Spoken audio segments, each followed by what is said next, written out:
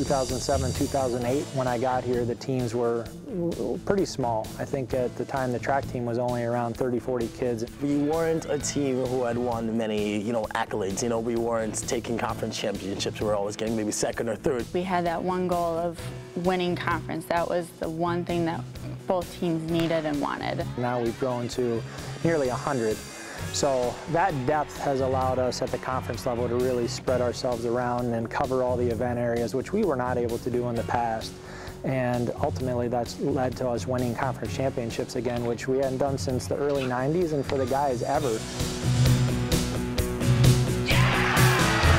Track at times can be a very individual sport, but we do want kids that are going to buy into a team philosophy. You can't win a conference championship by yourself.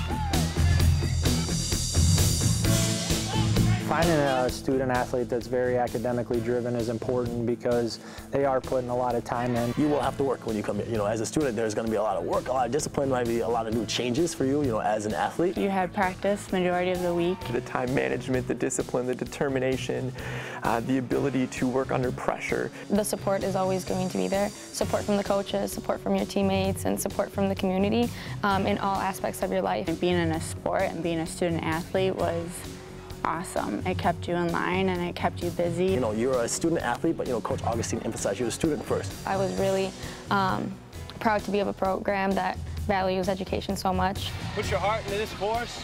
I didn't really realize until I got here how unique it really is. Uh, meeting some of the uh, the athletes that I would be competing with if I decided to come to St. Norbert really sold me. The tour is just they show you everything and everything's beautiful and everything's thought out and they're we're doing construction. They just finished the Schneider Stadium when I visited, so that was the big thing is they had their own track. And then when I just came, I just kind of fell in love with the place. I um, really liked the energy and this how nice people were and things like that. And I was like, this has got to be fake. People are not this authentic, this nice, you know. And then come to realize it's just how Wisconsinites are. It's like it's small enough where you know a lot of people and you feel confident and you can always, you know, find a friend in a crowd, but then it's big enough where you're always meeting someone, someone new. I was being recruited to go to a lot of different places, so I did look around to other schools, talk with different coaches, but once I stepped on campus here and met with Coach, I just knew that there was a different culture um, and something that I wanted to be a part of. The meeting with Coach Augustine was, that was the seal the deal moment of I could see myself here. I can see myself running on this track and going to classes. You know, we can find some kids in high school that are maybe a little bit underdeveloped. Uh, some of the kids that we get are from smaller high school programs. And if we can get them in here and know they're going to work really hard, then I think we can show them a lot of improvement in their times, in their jumps, and their throws.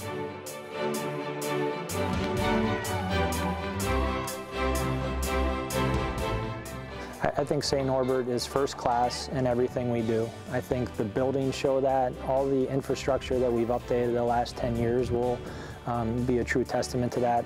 Uh, the upgrades to the indoor facility, the new weight room, the new pool, uh, access to things that we have not had in the past. So we're looking ahead and saying we're going to be able to accomplish some really, really cool things because we've already done it um, with less. The one commitment uh, I made when I got here was when I was recruiting athletes, I let them know that regardless of the level, if they were good enough, we were going to take them across the country to find competition. Coach sees um, some of his athletes that can maybe compete at a different level, um, that they might not have the competition here right in the Midwest. Stanford, uh, North Carolina State, those were some of our early trips. Um, Mount Sac in, in Los Angeles, California. Iowa State for an indoor meet on a 300 meter track was a great experience for them. We were at Penn Relays as well. At the national level, I think we've had um, 43 All-Americans between cross country and track and field. Uh, we've been at every national meet um, in the time that I've been here as well. We're one of the top five programs in terms of 800 meter success with All-Americans on the women's side. Uh, we've had some great 400 runners on the men's side and people expect St. Norbert now to be at the national meet.